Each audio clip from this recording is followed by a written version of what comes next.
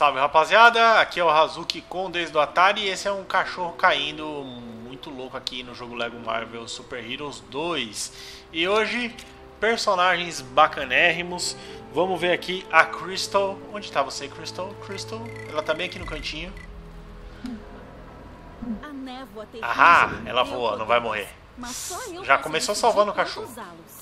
já começou salvando o cachorro da queda ali, que ia ser uma morte horrível, né?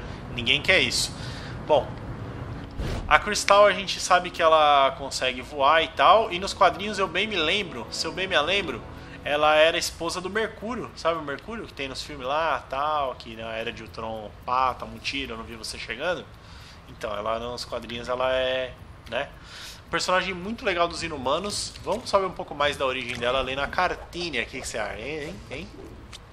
Vamos ver aqui. A Crystal, o nome dela é Crystalia Amalequim, Amaquelin. É, ela é irmã da, da Medusa? Crystalia. Ou Crystalia. Eu não sei como é a pronúncia, né? Deixa eu ver aqui. É irmã? É irmã, olha aí.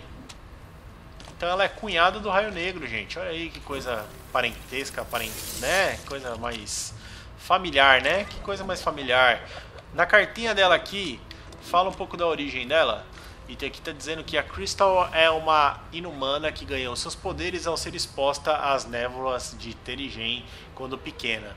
Quando a guerra a forçou a fugir de Attilan, ou Attilan, sei lá, ela se refugiou com o Quarteto Fantástico em em Nova York, servindo como integrante deles e dos Vingadores por um tempo. Após isso, ela retornou à família real inumana para assumir a sua posição. Que posição que é? Que a irmã da, da rainha é uma princesa. Uma, uma, a, a, irmã da, da, da rainha é uma princesa, talvez? Não sei. Bom, a primeira aparição dela foi em Quarteto Fantástico número 45 em 1966. Acho que os inumanos apareceram todos aí nesse, nesse, nessa, nessa coisa aí, hein? Como Crystal. Ela tem inúmeros poderes esse personagem no jogo, é muito importante, muito legal, porque além dela voar, ela consegue manipular eletricidade, fogo e gelo. Ela tem raio para tudo. Ela consegue desenterrar, ela tem acrobacia, ela, ó, calor, tá vendo? Disparar raio de calor, que eles podem ser usados para, para, para destruir objetos dourados e cortar a parede. Aí tem gelo, que pode ser usado para congelar inimigos e apagar fogo. Aí desvia dos raios, porque ela é ninja. ninja. ela consegue mirar e também ela tem telecinésia. Quer dizer, é um conjunto de habilidades muito fantástico né, que ela tem. Se a gente apertar aqui, ó. Olha que da hora. Se apertar o ataque primário dela, ela solta um raio de gelo. Se você segurar, ela mira e já bota o ataque de fogo. né? Deixa eu ver aqui onde tem um negócio para tirar. Um alvo, preciso de um alvo quero mostrar. Quero mostrar o Vivex. Aqui, ó. Por exemplo, né? Olha, ela tirou ali um raio de um raio de gelo, mas se precisar de fogo, ela manda o raio de fogo também.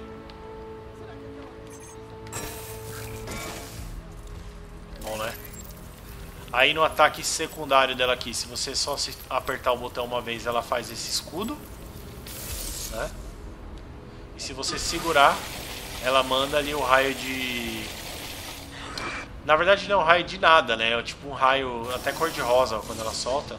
Porque ele muda. Ó, às vezes é um raio de gelo, às vezes é um raio elétrico. Depende da finalidade que você precisa. Tá vendo?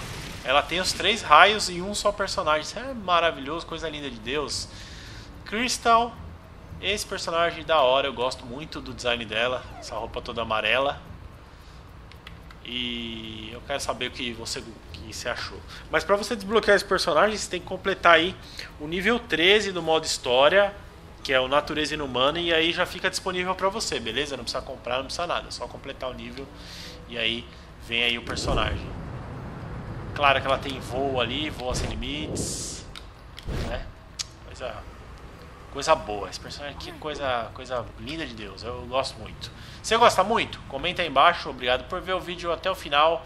E fica ligeiro, porque daqui a pouco eu volto com mais personagens do jogo Lego Marvel Super Heroes 2. Ó, fez ali uma graça.